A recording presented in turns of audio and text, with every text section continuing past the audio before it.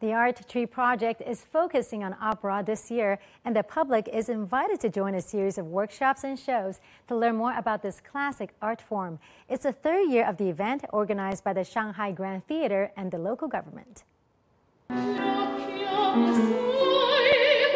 Workshops and lectures will be held in Shanghai from now until December, with topics that include backstage stories for the opera Sister Jiang background music in classic movies, and on why operas became so popular in Europe. Opera singers and professors from Shanghai Normal University will take part in the event. Shanghai Opera House will also stage what they called a balcony opera at Shanghai Concert Hall on December 9th. In Italy, a balcony opera is considered the best way to present bel canto and we've seen some singers perform balcony operas last year during the pandemic. Shanghai Concert Hall is a historical building, and I think it's a great venue for a balcony opera. I hope we can keep doing that on and on.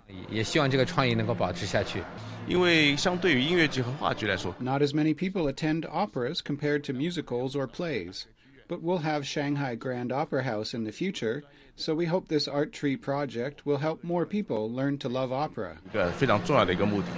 The Art Tree project started in 2019 with a focus on seven-stringed instrument called a guqin. Last year, the project featured ballet and a series of workshops to train beginning dancers. Members of the public can apply for a chance to perform La Traviata with Shanghai Opera House singers at Shanghai Grand Theater in December. Zhang Yue, ICS for CGTN, Shanghai.